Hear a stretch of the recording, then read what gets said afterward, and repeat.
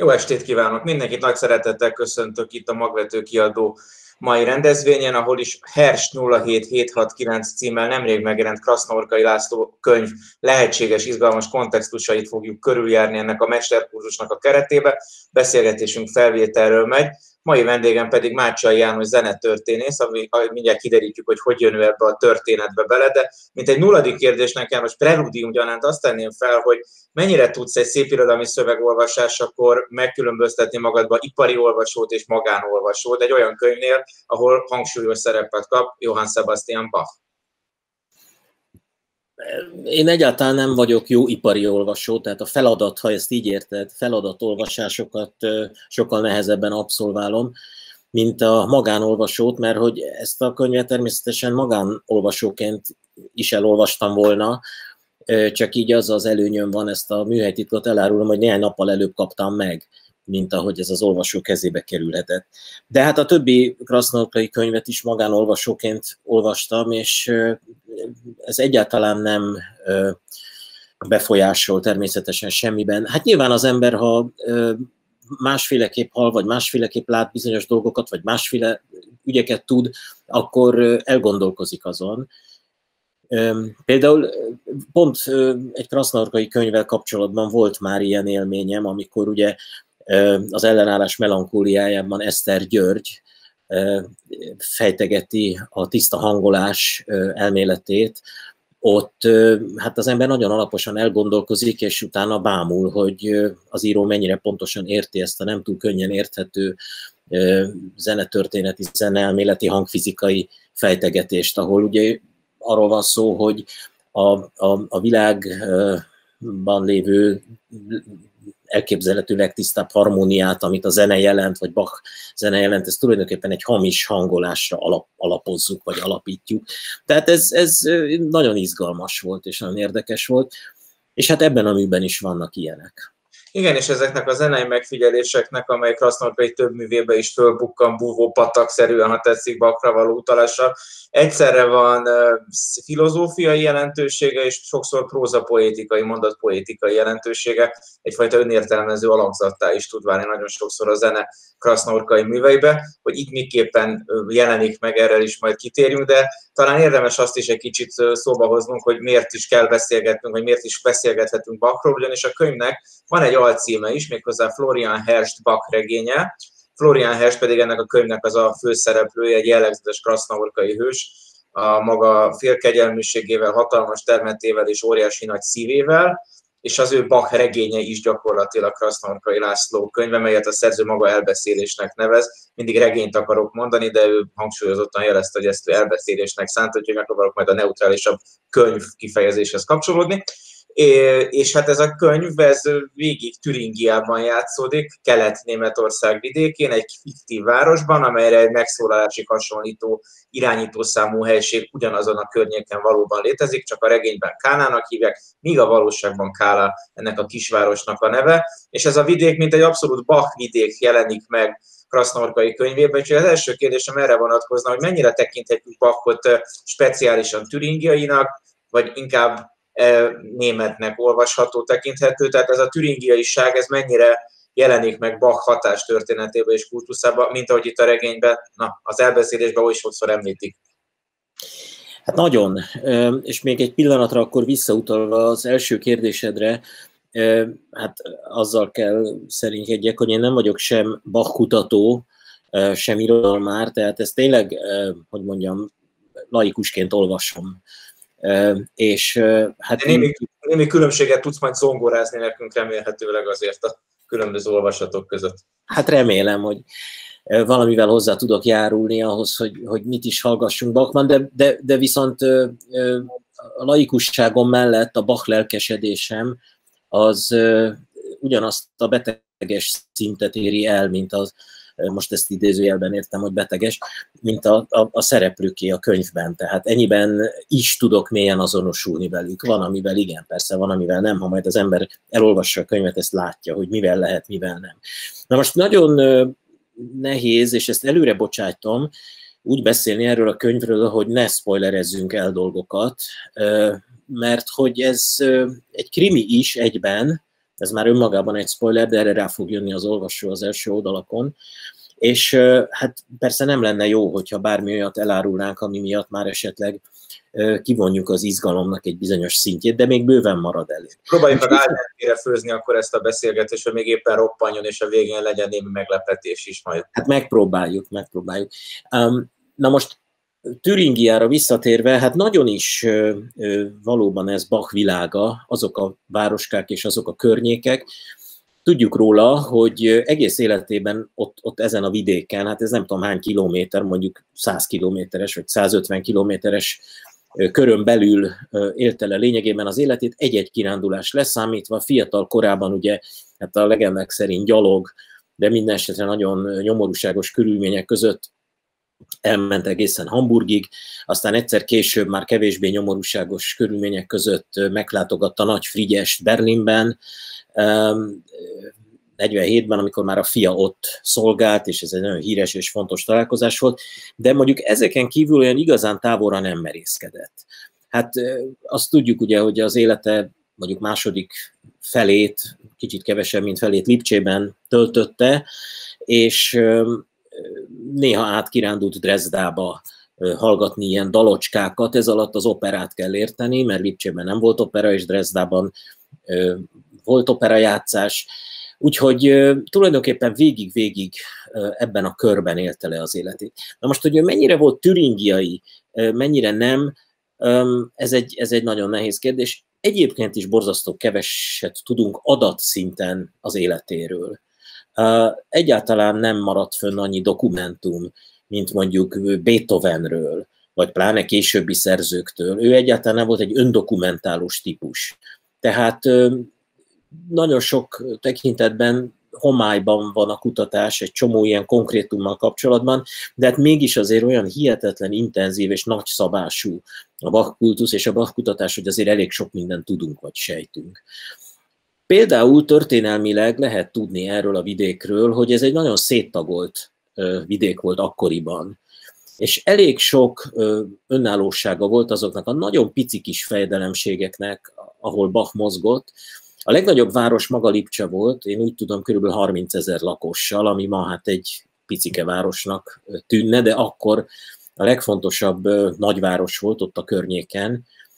Évi, ha jól tudom, kétszeri nagy vásárral, vásárváros volt, amikor tényleg sok százan vagy ezren jöttek oda a városba, tehát egy nagy idegenforgalom is volt, turista forgalom, hogy úgy mondjam. De azok a pici városok, ahol szolgált Anstadt, még, még Weimar is tulajdonképpen, hát ezek pár ezer lakosú városok voltak, pici helyek voltak. Mindenütt olyan félfüggetlen, önálló fejdelemségekkel. Maga Lipcse az egy tanács által irányított város volt, de azért a védnök, aki nem nagyon szólhatott bele az ügyekbe, de mégiscsak az a drezdai uralkodó volt. Tehát ez egy nagyon bonyolult, széttagolt, hatalmilag és, és ilyen szempontból anyagilag is széttagolt vidéke volt akkor Németországnak. De az életének ugye 1723-tól, tehát a maradék 27 év, amíg élt, helyszíne Lipcse, tehát a fő helyszín ilyen szempontból, az az, az, a, az az intellektuális központja volt Németországnak akkoriban. És a Tamás templom az az állása, amit ő betöltött, tehát a vezető karnagyi állása, hogy ezt magyarul mondjuk, a Kapellmeister, ez a, vezető zenei állás volt Németországban. Tehát ha lett volna ilyen, hogy főzeneigazgató ebben a késői német barokkorban, akkor az ő volt, és a legfontosabb értelmiségiek egyike is ő volt.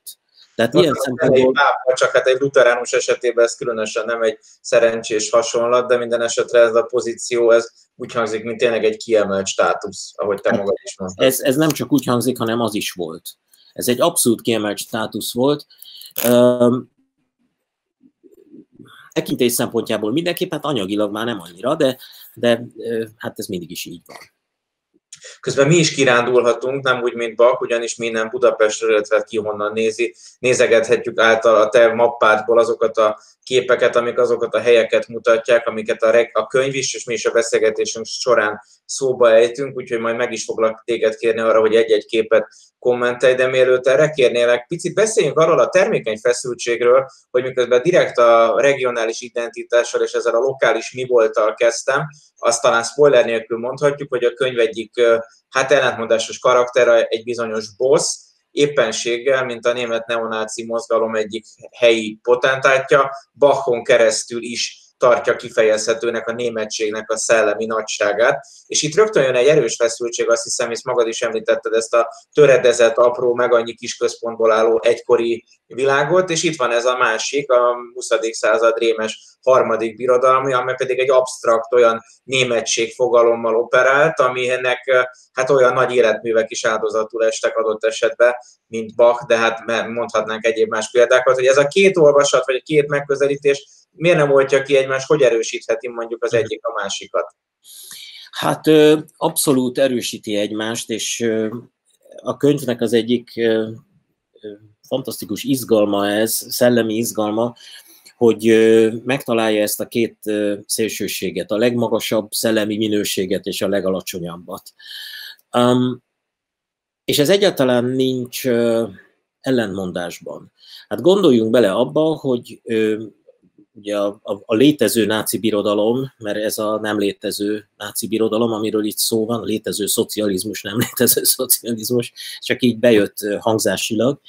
Szóval a létező náci birodalom idején micsoda kultusza volt a német zene egyes alkotóinak, nevezetesen Wagnernek és Beethovennek például, kicsit kevésbé Bachnak, de azért neki is, és milyen rettenetes sors érte mondjuk Mendelssohn-t, akinek a nagyapja volt a német felvilágosodás egyik legfontosabb alakja, úgyis, mint ö, ö, egy zsidó filozófus. Tehát, és hogy, Mendelssohn mennyire sokat tett Bach újra felfedezésért? Egy arról nem beszélve, hogy Mendelssohnnak nagyon sokat köszönhetünk Bach újra felfedezésében, igen. Majd ha lesz időnk erről az újra felfedezésről, vagy elfelejtettségről beszélhetünk egy kicsit, ez érdekes. Tehát, hogy ez egyáltalán nem meglepő, hogy megtalálta magának ez a neonáci figura Bachot, ami tulajdonképpen a regényből csak egy picit mélyebb olvasatban derül ki, hogy nem pusztán egy zászló. Tehát itt nem arról van szó, hogy ő fölfedez magának idolokat és, és kitűz, és fogalma nincs, miről van szó, hanem hat rá, mert lelke van.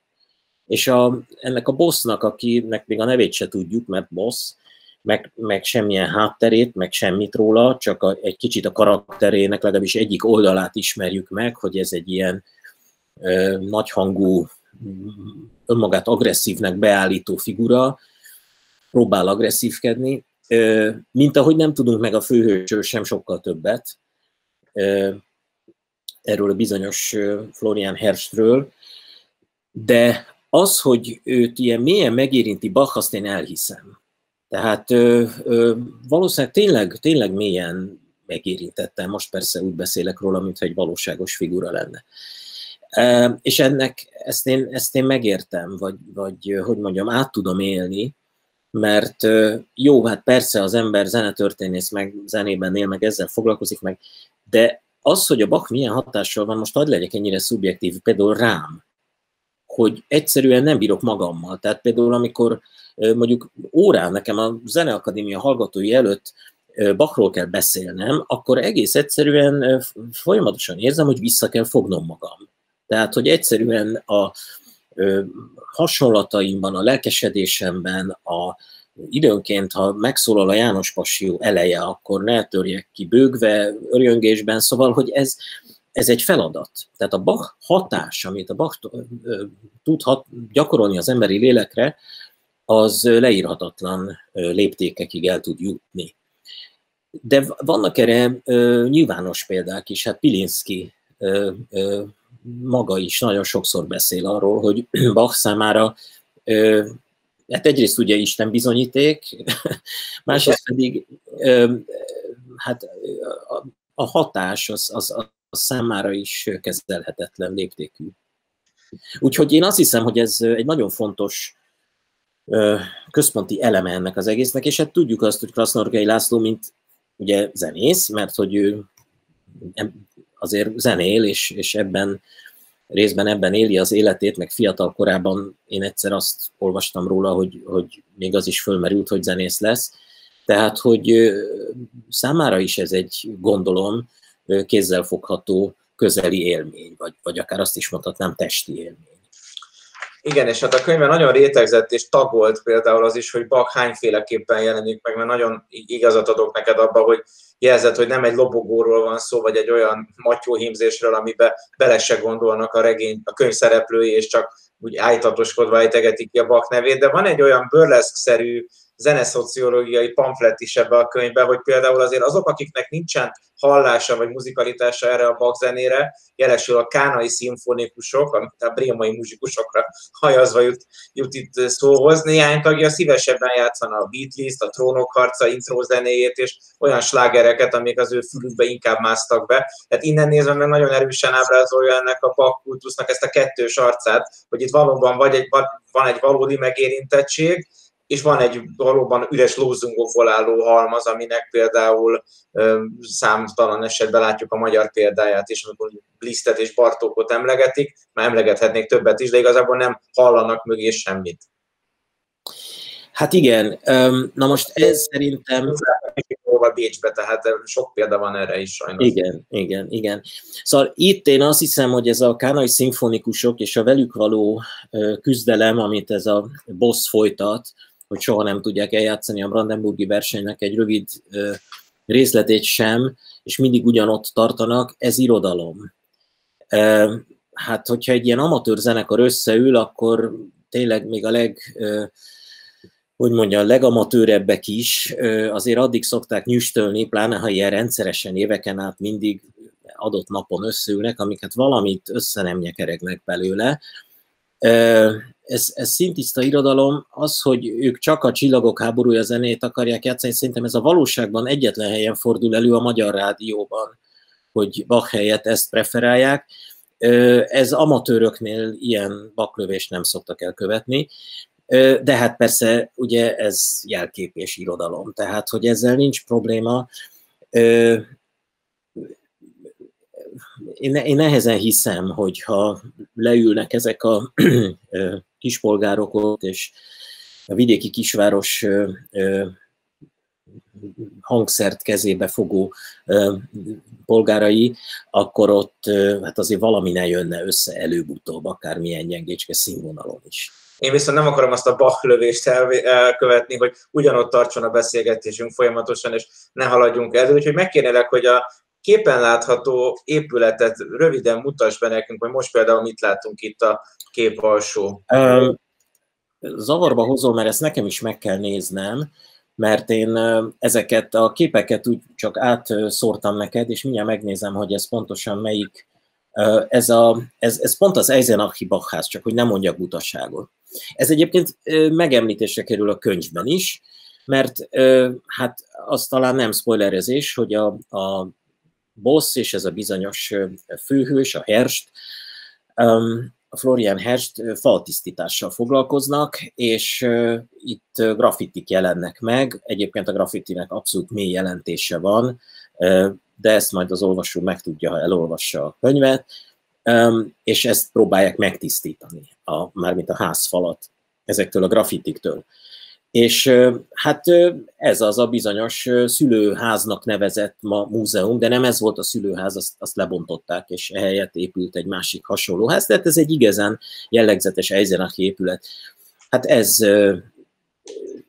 ez te jártál ezeken a helyeken? Ezeket, te jártál ezeken a helyeken? Tehát ezt a Bach zarándoklatot lejárt? Sajnos mindegyiken nem, de Lipcsében, Weimarban, Dresdában jártam, pont Eisenachban nem. Most egy fontos helyet látunk, hogy egy malomba őröljünk, ugyanis ez pedig a egyik legelső Bach lokalitás Türingiában, ha jól tudom, a fontos szerepet játszik, és itt még egészen visszamegyünk a történelmi Magyarország északi részére, felvidéki részére, és ugyanis a könyvállítása szerint a Bach család eredetileg Pogyony mellől kúszott fel Türingiába.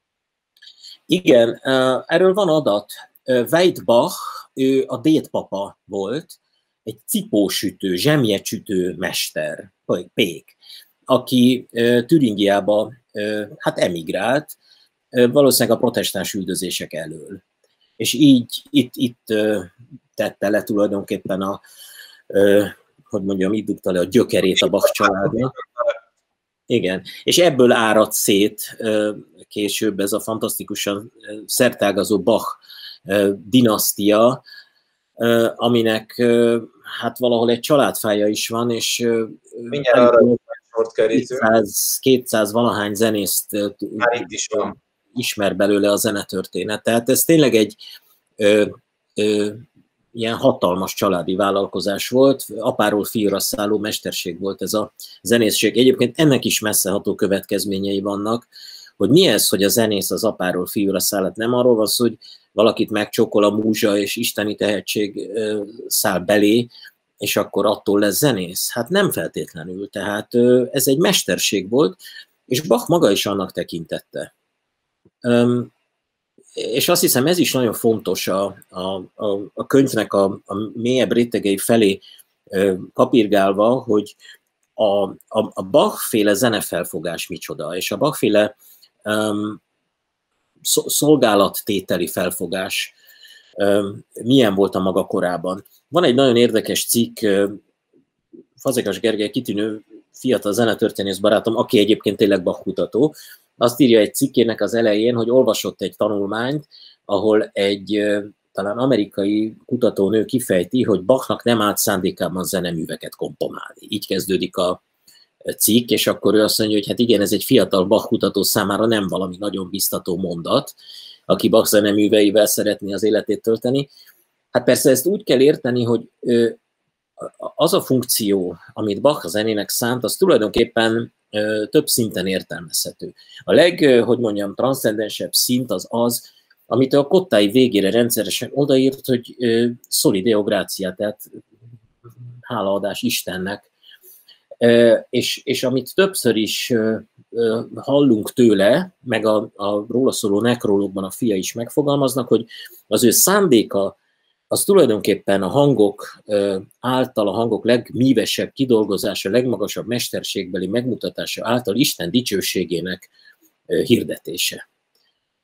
És egyáltalán nem arról volt szó, hogy ő, ő legalábbis ezen a szinten, hogy ő, ő hogy mondjam, sikerre számot tartó zeneműveket akart komponálni azért, hogy tapsoljanak, és utána jöjjön a jogdíj. Ez nem volt mellékes számára természetesen sem, de hiszen professzionális muzsikusról volt szó, de az igazi mély cél az nem az ő saját érzelmeinek kifejezése volt, és az önmegmutatás volt, mint egy későbbi nemzedéknek, vagy egy száz évvel későbbi generációnak, mondjuk Beethoven-től kezdve, hanem, hanem Isten szolgálata a legmagasabb tudás segítségével, ami elérhető ezen a földön. Úgyhogy nagyjából ezt, ezt tudom mondani erre. Most közben a Tamás templomot látjuk, ugye? Itt a Igen. képünkön a már szóba hozott Tamás templomot. És ez, amit a zenész családoknak a dinasztiális mi voltáról mondtál, ez, ez tényleg egy elég érdekes dolog, hogy, hogy a festők és a zenészek nagyon máshogy működnek, mint az írók. Most tudunk író családokat is, ahol a Igen. több sarj vagy több nemzedék is ugyanazt próbálja csinálni, de azért a zenészeknél tényleg sokkal gyakoribb, hogy a dédszülő szeretett fütyülgetni, a nagypapa az már járt kórusba, az apuka zenetanár, a gyerek pedig mondjuk egy nagyon nagy zeneszerző lesz, hogy itt egyszerűen azáltal, hogy hallja ezeket a zenéket? Vagy e, e, ez is kicsit, kicsit másképp volt a korban. Tehát itt nem arról van szó, hogy egy fejlődés történet van, hogy a következő generáció mindig kicsit jobb, mint az előző, hanem ez egy szakma, amit meg lehet tanulni. És tényleg, ha az ember elég szorgalmas, akkor meg tud tanulni bizonyos szinten zongorázni, meg tudja tanulni az összhangzatot, az zenelméletet, ha elég korán kezdi és mondjuk olyan szerencséje van, hogy a Kodály módszerrel tanul szolfést, akkor még hallani is fogja a kottát, stb. stb. Szóval ez egy mesterség, amit bizonyos szintig meg lehet tanulni, és meg is tanulták ezek a mesterek. Hát ha, ha körülnézünk tulajdonképpen a Bach korabeli zeneirodalomban, és, és ez a 20. század utolsó 50 évének, vagy, vagy 30 évének, és az azóta eltelt 20 évnek a nagy eredménye, hogy bármit rákattítunk a netre, és, és meg, meg tudunk hallgatni. A kismesterek műveinek is most már legnagyobb részét, mert elképesztő ö, módon feltárják, és újra kiadják, és felveszik ezeket. Tehát, hogy ö, ha ezt nézzük, akkor azt mondom, hogy hát ez, ez teljesen olyan, mint a Bach, vagy majdnem olyan, mint a Bach. Vagy Mozartnál. Hát nézzük meg a korabeli kismestereket most sorolhatnék egy csomó nevet, nem tudom, nem is olyan nagyon érdekes.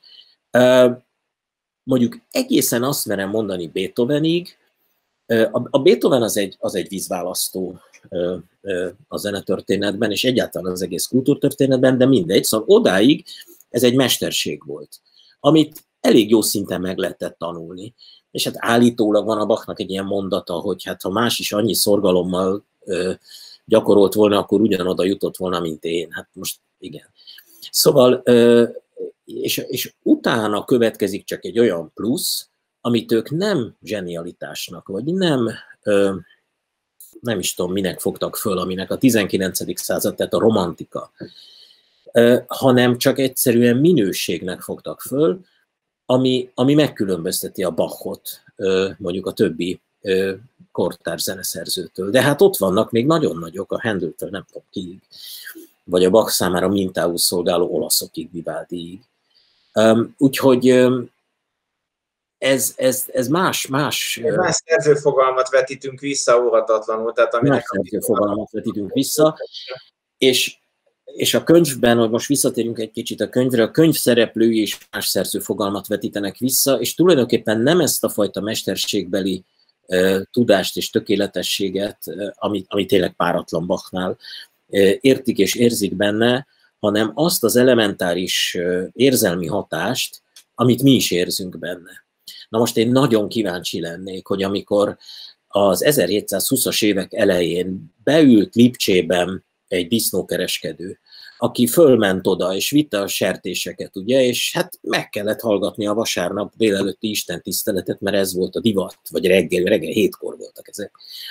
És bementek a templomba, és ott, ott egyszer csak elindult a János Passió, és felordított a korus, hogy her, her, her, háromszor ilyen lezuhanó ö, ö, akkordban, hangzásban, hogy, hogy, hogy az égből, ugye, vagy a templom toronyból száll le a, a, az úr hangja, felsikoltva, felordítva, egy, egy hatalmas gomolygás után a tohuva bohuból egyszer csak ki e, robban a fény, amit megteremt az úr, és ez, ez egy leha, leereszkedő zuhatag formájában belehullik a nyakába ezeknek a szerencsétlen embereknek, húsvétkor még hideg van esetleg, sötét kint, ronda idő, és röfögnek a disznók a sarkon, amiket kikötöttek valahova, és a kutyák kihajtására külön embert alkalmaztak a templomban. Szóval, hogy ez, ez, ez hogy hatott a korabeli emberre? Vajon tényleg megérezte a korabeli hallgató azt, hogy, hogy itt miről van szó, hogy egy rock koncertnek az energiája és a kirobbanó ö, ö, hogy mondjam, dinamizmusa és a százezer watt és nem tudom mi, az kutya füle ahhoz képest, ami itt meg tud történni. De ez a Bach passió, ez tulajdonképpen egy mellékszereplője volt az Isten tiszteletnek, mert a prédikáció volt a főszereplő, és ugyanígy a kantáták esetén. Ez egy, ez egy dísz volt, de annál azért annyiban több, hogy tulajdonképpen nem dísz, hanem a, a a, nem is felöltöztetése, hanem a valamilyen formában, azt mondom, hogy ruhában, akkor az kevés, de szóval valamilyen létező vagy, vagy felfogható formában való megjelenítése volt az Úr igéjének, vagy az Úrnak magának. Hogy ez aztán olyan minőségben történt, és olyan feszültségekkel, és olyan hihetetlen energiával és, és fantáziával, ahogy ez Bachnál történt, az tulajdonképpen már bibircsók volt a szépség arcán. Tehát, hogy a Bach ö, ö, nem volt komilfó bizonyos értelemben. Ö, hát már nem kikergették a templomból azok miatt, az akkordok miatt, amiket használ. Túl zsúfolt, énekelhetetlen, nem lehet követni, hogy hol tart. Tehát ő sok volt. Sok Úgy volt. Sok a hangjegy, hogy a legenda szerint, vagy az anekdota szerint Mozartnak igen, igen, igen, igen. Szóval azért, azért a Bach fenegyereksége benne van abban, ahogy ezek a szerencsétlen német neonácik itt a könyvben hatása alá kerülnek. Ez egy fenegyerek volt ez a Bach. És említetted, hogy ezt a Mendelssohn dolgot egy kicsit érdemes körüljárni, úgyhogy.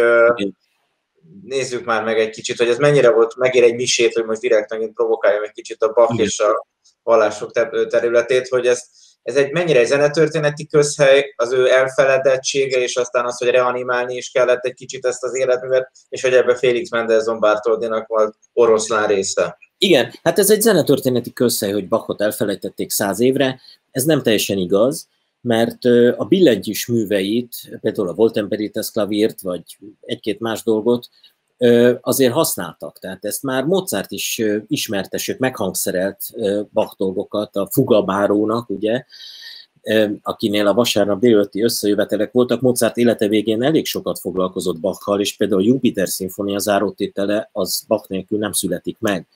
És a Van Swieten az Bécsben ott már az 1780-as évek vége felé, 90-es évek elején őrültes Bach kultuszt teremtett. Tehát egyáltalán nem felejtették el, de azért ugye nem voltak kiadva a nagyobb művei, és nem, nem ismerték ezeket. A billentyűs műveket igen, tandaraboknak használták főleg, de azért a Mozart felismerte, hogy kiről van szó, a Beethoven felismerte, hogy kiről van szó, Szóval azért, azért ő a köztudatból nem ment ki teljes mértékben, a zenész köztudatból semmiképpen sem. Hát a fiai egy időben híresebbek voltak, a Carl Philipp Emanuel, Johann Christian, a, a hamburgi meg a ö, londoni Bach. Na most a Mendelssohn a felfedezés az borzasztó érdekes, és ez, ez Németország. Szóval a Mendelssohn nagypapa, Moses Mendelssohn, azt említettem, hogy a német felvilágosodás egyik legfontosabb és legkitűnőbb szereplője volt, aki tényleg koldus, szegény zsidó gyerekként ment be, ha jól emlékszem, talán Berlinbe, a hátsó kapu, mert nem, nem is volt szabad a zsidóknak a főkapun, fő, fő város kapun bemenni. És aztán szépen lassan a legnagyobb tekintélyévé vált a, a, a kor filozófiai irodalmának, meg, meg egyáltalán gondolkozóinak. Róla formázta Lessing, a Bölcs Nátán alakot, és azután a papa, tehát Mendelssohn apja, ennek a bizonyos Moses Mendelssohnnak a fia, hát egy gazdag bankár lett, aki nagyon sikeres volt az üzleti életben, de maga is ugye ambicionálta a kultúréletet, és Berlinben, az Unterden Mindenem volt egy gyönyörű palotájuk, ahol Hát én azt olvastam, hogy valami száznál több fős, vagy 200 fős nagy koncertterem méretű nagy ilyen fogadótermük volt, ahol bizony vasárnaponként koncertek voltak, volt egy udvar is, hátsó kert is, és nagy súlyt fektetett arra, hogy a gyerekei, Fanni is, meg Félix is zenét tanuljanak, meg minden egyebet is tanuljanak. Hát például Félix remekül festett, rajzolt. És volt egy nagy néni, aki még jóba volt Kár Philipp Emanuel Bachal, ott Észak-Németországban valahol, tanítványa volt talán, és ez a nagynéni, ez szintén jó módúvá vált, és, és megvásárolt egy kéziratot Kár Philipp Emanuel Bachtól. És 14 évessé, vagy 13 évessé, bármit szólja volt talán Mendelssohnnak, de lehet, hogy akkor már katolizált, és nem is volt bármi szó, ezt, ezt pontosan nem tudom, utána kell nézni. Szerintem bármi szóval jobb lesz a történet. Igen, de, de lehet, hogy nem így volt. Szóval minden esetre mit lehet ennek a gyereknek adni ajándékba? Jaj, hát van itt egy kis kézirat, itt a régi, izé, odaadom én ezt neki, hát ez, ez volt a Máté Passió kézirata. Na most, ha, ha azt mondom, hogy a Máté Passió kézirata, akkor azt mondom, hogy hát a világ történelem legértékesebb papírhalmaza. Tehát, hogy e, e, nem is tudok erre mit mondani. És hát odaadta a gyereknek, aki persze belenézett, és értette, és hallotta, és hát ő is azért már hallotta Bachról, meg játszotta nyilván a zongora darabjait, és azt mondta, hogy ezt be kell mutatni. És eltelt egy jó pár év, és aztán végül ugye megalakult mindenféle együttes, stb., és akkor akkor bemutatták 29-ben. Eh, a Máté Pasiót persze nem abban a formában, ahogy az eredetileg volt, hanem kevesebb, mint a felére, összetömörítve, az áriák nagy részét kihagyták, szóval stb. stb. Tehát ne, anyja nem ismert volna rá. Egyébként most nem olyan régen előadták a műpában a Vassegyék, az eredeti Mendelssohn féle Máté Pasiót, és aztán valahogy innen indult a nagy Bach felfedezés, de még nagyon más formában, mint ahogy az ma zajlik. És volt egy, egy második nagy Bach forradalom is, ugye szépen elkezdték kiadni a kottáit, azóta már van két nagy Bach összkiadás is, és az igazi nagy forradalom, miatt ma olyan hatással van ránk Bach, amilyen, az az 1950-es években indult be, Nicholas Harnoncourt és mások jó voltából, de főleg Harnoncourt, aki ugye elindította a régi zene mozgalmat, ami azt jelenti, hogy eredeti hangszerekkel a lehetőségek szerint amennyire ezt lehet tudni, az eredeti előadás módokon kell megszólaltatni ezeket a műveket. És ez most már 70 éve, hát Magyarországra ugye a 70-es évek végén kezdett beszivárogni ez a mozgalom, 80-as években bontakozott ki inkább. Ez ö, felrobbantotta nem csak Bach, hanem az egész barokkzene kultuszát, és, és kiderült, hogy hát ez legalább annyira vivid művészet, mint, mint bármilyen 20. században, sőt. És minden megvan benne, és mindent tud, és hihetetlenül, megunhatatlanul élvezhető anyag, ha ezt úgy játszák, ahogy feltetően akkoriban játszották, azokkal a tempókkal, azokkal a rendkívül sarkított dinamikákkal. Hát gondoljuk arra, hogy milyen a barokk építészet. Hát ez sem más. Ez, ez fénylik, ragyog, sötét, világos, szóval ebben minden, ez, ez nem egy élő eleven, mozgó. Élő eleven, ez nem egy unalmas és decens dolog, hanem ez ütemes támadás ököllel a könyvzacskókra és a szív csakrákra, és valószínűleg ez az, amit krasznorkain keresztül persze megéreztek ezek az amúgy nagyon egyszerű emberek. És ezért... Meg a szó szerint is, bocsáss meg, hogy szabadba vágtam, hogy a könyvben Herst, a Florian, ami címszereplőnk, főleg mely műveken keresztül jut el egészen más állapotba, és az is, azt is érdekes megnézni, hogy ezek a művek mennyire fedik le azt a piramist, amiben mondjuk most a Bach legnépszerűbb műveit tekintjük mondjuk, vagy a legkonszenzuálisabb műveit tekintjük mondjuk a koronájának. Ugye Igen. Át is adnám a szót tanár úr. szóval um, én attól tartottam, hogy megkérdezed, hogy mennyire zenei ez a könyv, olyan értelemben, hogy szerkezetileg. De szerencsére nem ezt kérdezted, ennek ellenére én egy kicsit erre fogok válaszolni. Mennyire zenei ez a könyv, akkor megkérdezem. Na, ezt, erre biztos nem válaszol. De válaszolok, fogalmam nincs, de azt tudom mondani neked, hogy ezek hát nagyon rétegzett dolgok kezdenek lenni. És hallottam azt a beszélgetést, amit Krasznarkai Lászlóval folytattál itt ugyanezen a csatornán, ahol ő használt egy kulcs szót. Azt mondta, hogy ez a bizonyos Florian Herst, ez egy angyal. Ez nekem olyan volt, mint hogyha egy épületben kinyílt volna egy, egy, egy ajtó, ahol, ahol be lehet pillantani az igazi nagy birodalomba. Hogy miről is szól ez az egész könyv. Nem regény, hanem elbeszélés. És, és mi is van e mögött? És kik ezek az angyalok? Hát persze, hát az ember ezt rögtön érzi, hogy ez a herst, ez egy angyal, ez egy nagy darab mackós, borzasztó erős, segítőkész figura, akit ugye, majd nyilván erről is lesz szó ebben a beszélgetés sorozatban, nem csak a Bach nyűgöz le, sőt eleinte a Bach egyáltalán nem érdekli, az a boss nyűgözi le eleinte, hanem ugye a, a, a fizika, méghozzá a mikrovilágnak a fizikája, a, a részecske fizika, és itt is van egy visszacsatolás ugye egy korábbi könyvre, az ellenállás melankóliájára, ahol ezt a bizonyos valuskát, aki kísértetesen hasonlít természetesen Herstre, nem külsőleg, hanem magatartásában belülről, őt meg a makrovilág nyűgözi le. Na most itt zene is, itt, itt, itt van a könyv zeneiségének első szintje, vagy első rétege, ami ráadásul nem csak a könyv, hanem az egész életmű zeneisége, amennyire én ismerem, hiszen ö, mindig valahogy visszatérnek motivumok, és önidézetek vannak benne. És hogyha az ember megnézi Bach életművét, ott ugyanezt történik. Tehát például az egész hámol mise úgy, ahogy van, amit Bach legnagyobb művének tartanak, mondjuk a Máté Passion mellett, időskorának nagy műve, az mind tulajdonképpen paródiatétel. Most a paródiatétel persze így zenetörténetileg úgy kell érteni, hogy valamilyen korábbi művének az átdolgozása, vagy más szerző korábbi művének az átdolgozásaként jelenik meg, önálló új darabként. Például ezt nem szokták tudni, de a Bach versenyművek, a, a csodálatos csembaló versenyek és hegedű versenyek, ezek átiratok, Vivaldi művek, és egy-két más barokk műnek az átirata. Vagy hogy mondjak egy konkrét példát, lehet, hogy azt, azt később kéne, de mindegy, hát itt el, el tudom sütni. A, a könyvnek, aztán térjünk ezekre vissza.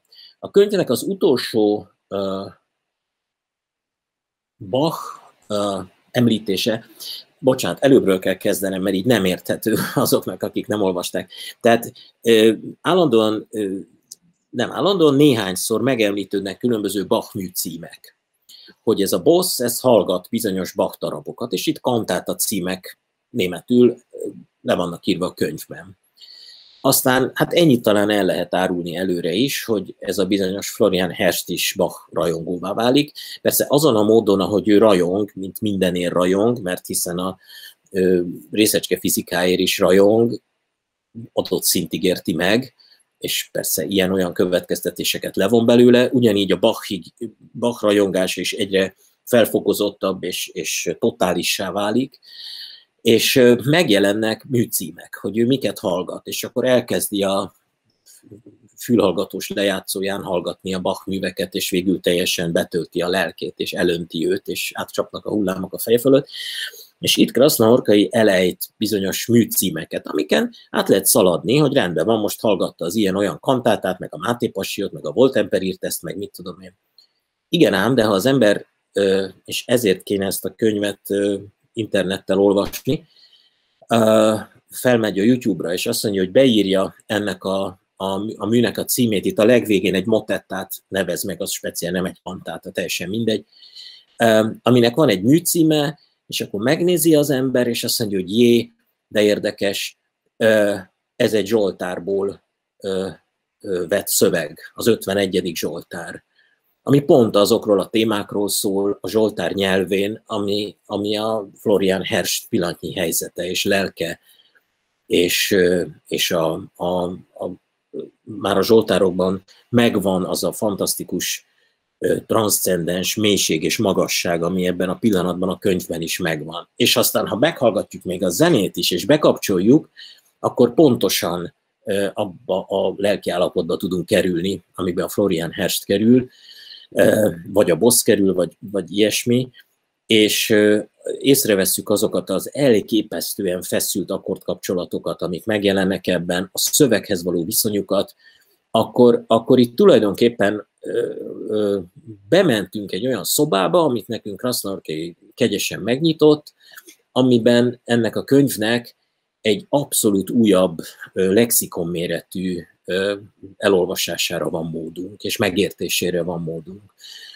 Na most ez, hogy angyal, erre visszatérve, igen, de hát ugye, mint tudjuk, az angyalok egyáltalán nem egyarcúak.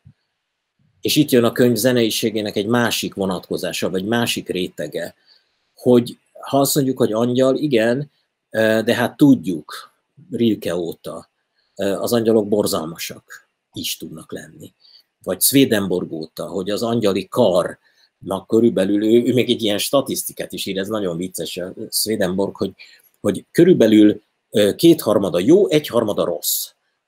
És hogy, hogy és ezek, ott, ott van egy részletesen kifejtett angyalológiai rendszer Swedenborgnál, hogy ez hogy, hogy van viszonyban ezzel az emberrel. És hogyha belegondolunk, hogy mondjuk Swedenborg kortársa volt Bachnak, majdnem egy időben született, tehát három évvel volt fiatalabb Swedenborg, és ugyan valószínűleg Bach nem ismerte, de azért ez hogy hat ez a német luteránus lelkiség vagy filozófia erre az egészre, akkor mindjárt elkezdjük megérteni, hogy milyen, miből jön ez a, gondolkozás, vagy, vagy nem is gondolkozás, mert kicsit túlzás velük szemben használni, de, de ér, érzés csokor, vagy élmény csokor, ami ezekben az emberekben ég.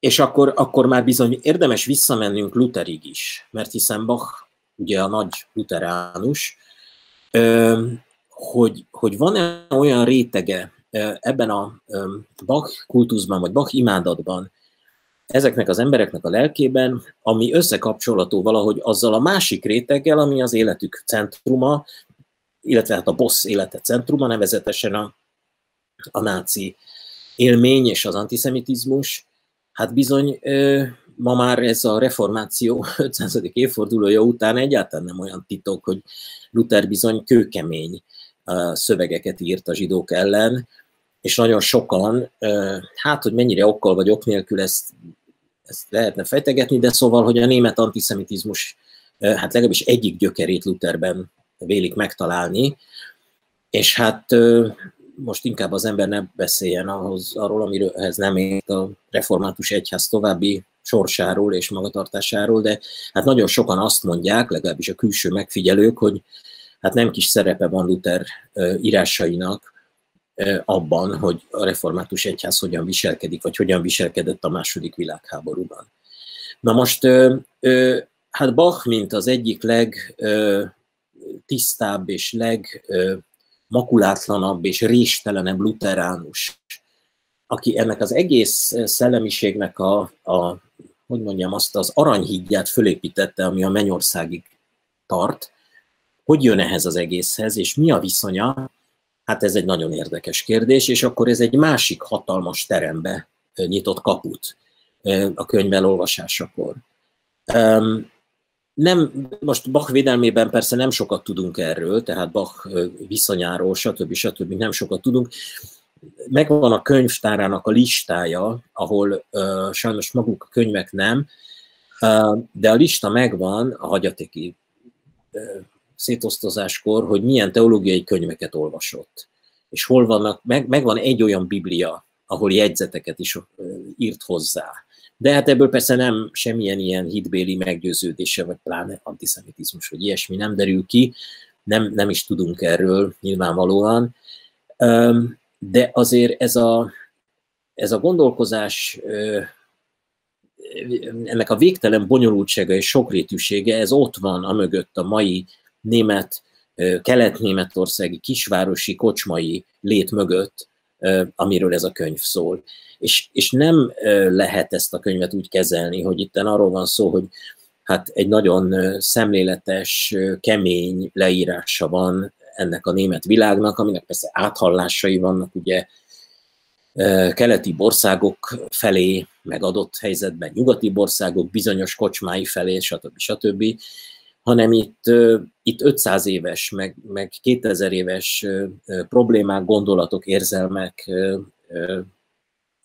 tudott, kevésbé tudott tartalmak feszülnek egymásnak, és gomolyognak ebben az egész furcsa, olcsó cigarettafüstben, ami ott zajlik. És hát anélkül visszavonnánk a Máté Passiót, ahogy a Adrian Lever a 9. szimfoniával, valóban ez is hozzátartozik az őszképhez, de most ezt a nyitott kaput még egy kicsit döngetve, hogy például a Falseved dir Trau ich nicht című kantáta, az konkrétan az egyik fejezetnek is a címe, ugye a fejezeteket is raffináltan oldja meg az elbeszélés, hiszen konkrét fejezetek szivárványpászmáknak nevezi a szerző, de minden azoknak a tagoló egységeknek az egyikét ez a Bach kantáta kölcsönözte, de hallgatja a Goldberg variációkat is, a Máté Passiót és a Brandenburgi koncertokról már beszéltünk, és tényleg nagyon izgalmas rákeresni adott esetben ezekre a konkrét műcímekre is. Nem tudom, hogy van-e a tarsolyodba. És meghallgatni őket igen, igen, a digitális tartolyodban van esetleg egy olyan, amit most itt néhány hát, erejéig megpróbáljunk bejátszani, vagy sem?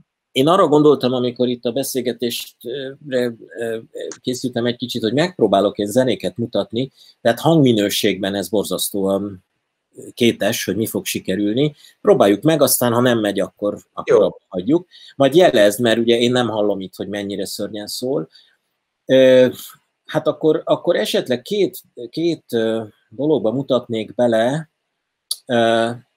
Az egyik, ha megtalálom, az az lenne, amit az előbb mutattam, vagy az előbb említettem, hogy a, a, az utolsó kantáta idézet, ha ezt megtalálom, egyéb, igen. Ez a Manzinget mit Freuden vom Siegin den Hütten, vagy ez egy másik most? Ez egy másik. Ezt a motettát gondoltam, na mindegy, megnézzük. Jó. Vagy a, vagy a BVV 5-ös kantátát, azt is lehet. Ez a Rosilich Fliehen Hin. Tessék? Játék és muzsika két percben csak, amíg előkészítettem, hogy... Jó. Ez a, ez a e, Vozolich Fliehen Hin e, kezdetű kantáta, ez a BVV 5-ös kantáta, ez egy 1724-es lipcsei e, kantáta, és ez a repülésről szól, a, szárny, a szárnyról, ugye angyalokról volt szó, majd még egy dadogó félmondat erejéig visszatérnék azért a zeneiségre, mert ez is egy zeneiség. Hát miért beszél itt nekünk szárnyakról, meg repülésről, meg miért ezt a kantátát választja? Hát nyilván azért, mert az angyalnak vannak szárnyai, jó esetben. Na most hallgassunk csak bele, kíváncsi vagyok, hogy hogy szól, mennyire hallani ezt.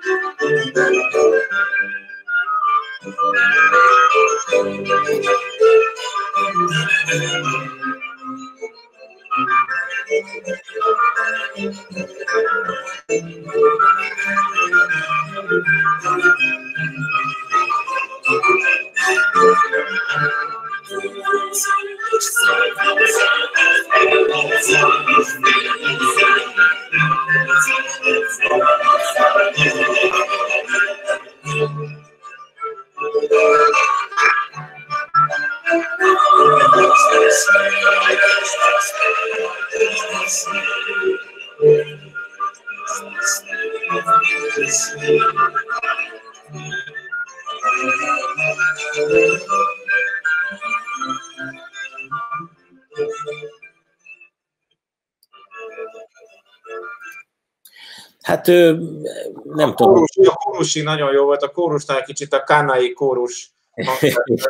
Köszönöm a én, én azt, azt javaslom, hogy valaki ehhez kedvet kap, már pedig kapjon kedvet, hogy ott van a cím, menjen rá, fönn van a neten, rögtön kijön a BVV szám, és akkor annak alapján azonnal a YouTube-on, vagy bármelyik ilyen csatornán, nem tudom, Spotify-on meg lehet találni többféle jó előadásban is. Hát ma már olyan kantát a felvétel kultusz van, hogy őrület, szerencsére, és ezeket meg lehet hallgatni, ott vannak a szövegek. Van egy ö, nagyszerű magyar könyv, amit jó régen adtak ki, Alfred Dürr, hát nem magyar, szóval ő egy nagy keletnémet idézőben kutató volt, Bach kutató, de magyarul megjelent a könyv még 80-as években, szerintem több kiadása is volt, a Bach kantátták mindig benne van, szövegileg, tartalmilag, szóval ezt, ezt ma már nagyon könnyű ennek utána nézni. És ö, ö, visszatérve a zeneiségre, mert szerintem azért ez mégiscsak nagyon fontos, hogy milyen rejtett ö, asszociációk vannak, milyen, milyen rejtett mélységek és tartalmak lehetnek ebben. Például ugye, ha, ha, ha arról ír Krasznaorkai, hogy a Florian Hest hallgatja a Máté Passiót, hát ö, az nem árt, ha a fülünkben van a Máté Passió, úgy unblock, mind a négy órájával. Ö, de hogy, de hogy például az a félelmetes feszültség, ami az egész könyvben is benne van, a léleknek ez a furcsa része, ami, ami a főszereplőknek a Bachhoz való viszonyát jellemzi, vagy, vagy Herst az, az, az még másképp is égi szereplő, vagy mennyei szereplő, annak pozitív és negatív vonatkozásaival. Például a Máté Passió nál arra kell gondolnunk, hogy ugye az a Tamás templomban mutattatott be, és ott úgy volt akkor az elrendezés, hogy volt egy fecskefészeknek nevezett kiskarzat, és volt a nagy orgonakarzat a templomnak a másik végében. És Bachnak azért két zenekaros, két kórusos műve a Máté Passió, mert ezeket külön helyezte el, tehát ezek térben megjelenő, visszhangszerű válaszokat adtak, ahogy, ahogy ez kialakult annak idejében, száz évvel korábban a Velencei Szent Márk templomban, Monteverdi idején. És ez a visszhang, ez Bachnál uh, mélységesen tartalmivá válik. Szóval nem csak arról van szó, hogy élvezkedik a sztereofóniával, hogy, hogy válaszolnak egymásnak, persze, az is benne van. De vannak olyan mélységek például, amikor van egy, egy ö, ö, vezérkorál a Máté Passióban, és az egyik kórus egy dur skálában, G-durban énekli, a másik egy émolba. És ez bele, ez átmetszi egymást, így keresztül a, a, a levegőn. Két, két fényes, lángoló pallossal átdöfi egymást ez a két hangnem. És ez, hogyha ott nem kapott szívrohamot a hallgató, akkor én nagyon meg vagyok lepve a korabeli zenében. Szóval ennél keményebb akusztikai szívendöfést és a, a, feszültségnek a felkeltését elképzelni nem lehet. És ezek végig-végig benne ordítanak ezekben a darabokban, és hát ha, ha valami filmre kívánkozik, akkor az ez a könyv, és ott van a kísérőzene megírva, ami olyan erejű, hogy ki kinyomja a székből a mozinézőt, szóval, hogy itt aztán nagyon domborítania kell egy filmrendezőnek, hogy ebből mit tud csinálni, hogy ő is szóhoz jusson. Aztán van egy másik, hát az, azok már ilyen, hogy mondjam, felszíni rétegek, tehát például a, ez az egész könyv ez egy mondat. A végén van egy pont. Még szerencse. És ha egy Bach zenét hallgatunk, amiben most próbáltunk például belehallgatni, hát azt hol hagyjuk abba? Hát a legnagyobb probléma. Tehát amikor az ember mondjuk megpróbál eljátszani egy Bach darabot, vagy gyakorol, vagy nem tudom mi, nem lehet abba hagyni a vége előtt. Tehát nincs olyan, hogy megszakad.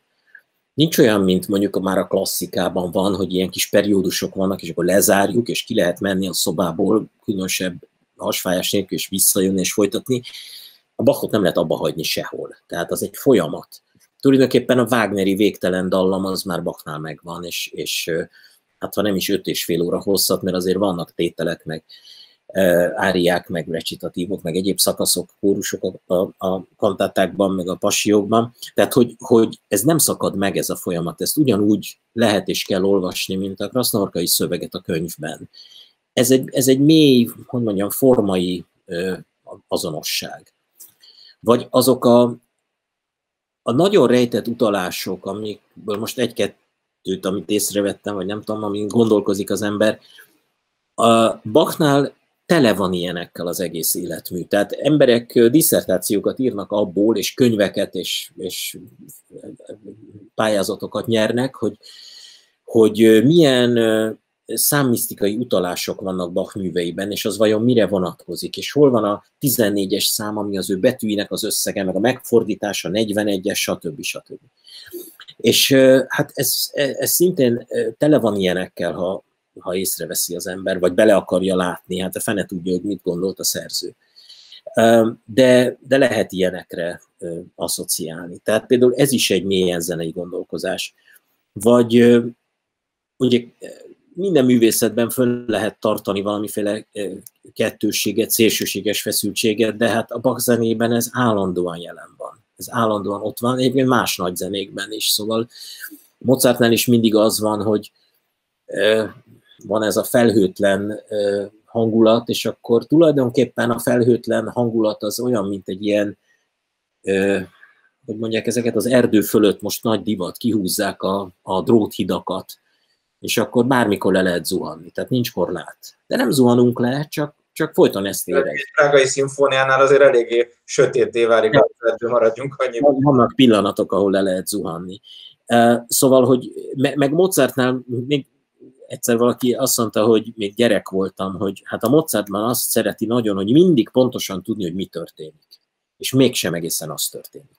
Hát ugyanez vonatkozik a, a könyvre is, mindig az ember kitalálja, hogy na most mi lesz, és nem az lesz. Tehát ez egy jó krimi is egyben. És ugyanakkor persze hát lélekábrázolását nyilván minden, minden jó könyv, ami emberekről szól, és emberi viszonyokról szól, az az, de hát ez azért sokrétűen az minden látszat ellenére.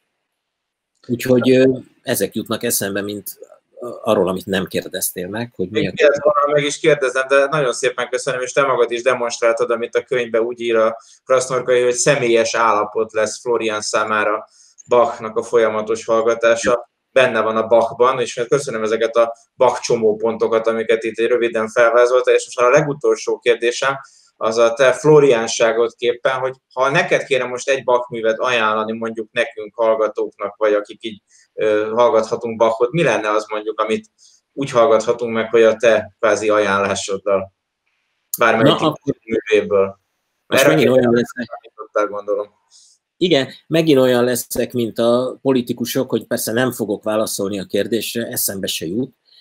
Um, de azért valamit mondok, Dobszai László, aki hát az ember nem túl sok lángelmét lát életében, néhányat igen, szerencsére ő az egyike volt ezeknek. Egyszer egy órán azt mondta, ez egy nagy zeneakadémiai nyilvános óra volt, hogy klasszikus formatanról volt szó, éppen Mozartról, és akkor mondta, hogy hát végig nézte a Mozart életművet, és talált egy rossz hangot. Tehát ami helyett lehetett volna egy jobbat írni. És akkor így fölhördült 80 ember, igen, és melyik az, melyik az? Nem mondom meg, keressék meg. És akkor 7 évig ö, kerestük, azért 7 évig, mert 7 év múlva tartotta meg megint ezt a kurzust. És a tanár úr, tanár úr, egyet mondja, hogy nem marulta el, mondja meg, hogy melyik az a rossz hang. Nem mondom meg, találják meg, na jó, a varázsfúvolában van, annyit elárulok. De most már tényleg keressék meg. Megint mindenki kerest, senki nem találta meg. És szegény magával vitte a sírba a titkot, mert, mert hát meghalt mielőtt, mindig hét évenként tartotta meg ezt a kurzust. És akkor valaki rákérdezett, na és Bachnál, és akkor így elgondolkozott, igen, hát a Bach életművet is végignéztem, és ezt nála szó szerint kell érteni, tehát nem volt olyan hang, amit ne hagyott, vagy kihagyott volna. Nála nincs rossz hang nála nem találtam rossz hangot, ami helyett lehetne egy jobbat írni. És miután egy hiteles emberről van szó, ezt tessék elhinni. És ez így van. Na most az, hogy melyik Bach művet ajánlom, ezt, ezt, erre tényleg nem tudok válaszolni, szóval ilyen nincs. Azt ajánlom, hogy jó előadásokban hallgassunk minél több Bachot, lehet kisebb adagokban kezdeni, de a végén el kell jutni a János Passióig, meg a Máté Passióig, és ugyanolyan, hogy mondjam, elöntöttségig Bach, Bach rajongók leszünk, mint ahogy, ahogy hát ugye Krasznarkai László nyilván nagyon jól tudja, ez mit jelent, mint ahogy Florian Herst is az lehetett. Még az is eszembe jut, hogy ott van Wagner, aki a német kultúrának egy másik ilyen nagy idólja. Megjegyzem, ugye a nácizmus és az antiszemitizmus az nem állt nagyon távol a Manfred villától, sőt, olvassák el, van egy, egy fantasztikus könyv a Winifred Wagnerről, magyarul is megjelent pár éve, ott elmondja, hogy a német nácizmusnak mennyire, hát legalábbis földrajzilag egyik fókusza volt Wagner villája és Wagner utódai, de hát azért Wagner írásaiban is találunk ezt-azt, ami nem válik nagy dicsőségére. Na mindegy, de Wagnernél is ezt a fajta rajongást tudjuk átélni, és hát vannak a Wagneriánusok, vagy voltak annak idején, akik egész egyszerűen nem is tudtak más zenét meghallgatni, mert, mert már betegek voltak tőle. Tehát csak a Wagner, csak a Wagner. És ez a mákony, amit Wagner jelent, mondjuk egy Trisztánban például, az, az, a, az a, hogy mondjam, az az elöntés, amit, amit az ő zenéje okoz az ember lelkében, ez tulajdonképpen a Bachra is vonatkozik, csak, csak annak a terheltsége és sötét színei nélkül. Na most... Itt visszahűtöttebb, mint a legjobb ö, ázsiai zöld. De mondok, egy, egy valamit mondok azért, tehát, hogy oh. miután rossz politikus vagyok, azért egy konkrétumot mondok, hogy van egy film, az fönn van a YouTube-on, és magyarul meg lehet nézni, az a címe, hogy egy szenvedélyes élet. És a John Elliot Gardiner, aki hát az egyik legnagyobb Bach előadó, készített egy BBC, azt hiszem BBC filmet, ahol végig sétál azokon a türingiai Bach helyszíneken, amiről szó van, és mesél a Bach életéről, és bemutat műveket. És például pont a János Vasió elejét részletesen is megmutatja, hogy az hogy szólal meg. És azt ajánlom mindenkinek, aki nem Bachmániás, és nem tudja fejből az összes BB számot, hogy, hogy nézze meg ezt a filmet, mert ez nagyon sokat elmond erről a dologról, és egy nagyon jól összerakott, jól megcsinált film, és a Gardiner a maga zenei hitelességével nagyon, nagyon is hozzá tud ehhez tenni, és, és az, az nagy hatással van az emberre. Azért most akkor megjegyzem, hogy a Gardiner gyerekkorában egy szobában élt azzal a Bach képpel, amit ott alul látunk. Azért ő se rossz családból jön, nem másolat, az eredeti volt náluk. És aztán adományoztam, nem tudom, egy múzeumnak. Úgyhogy hát jó családból kell jönni, na.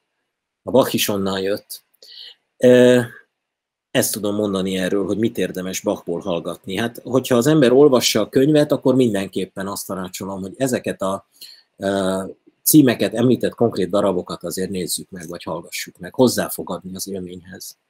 Mácsa Jánosnak nagyon szépen köszönöm ezt a beszélgetést a régi zenéről, az új szempontokról, és arról, hogy kicsit körüljárhattuk, mint Türingia vidékeit. Krasznorkai László valóban csodálatos Hers 07769 című remek művét, és tényleg öröm lesz ezután, még inkább öröm lesz Krasznorkait olvasni, és Johann Sebastian Bachot hallgatni, úgyhogy köszönjük szépen, hogy velünk voltatok, velünk voltak, és neked is János még egyszer, hogy beszélgethetünk, és kövessék tovább is a, továbbra is a magvetőt a Facebookon, és a Mesterkurzus különböző izgalmas beszélgetéseit. Viszontlátásra! Köszönöm szépen!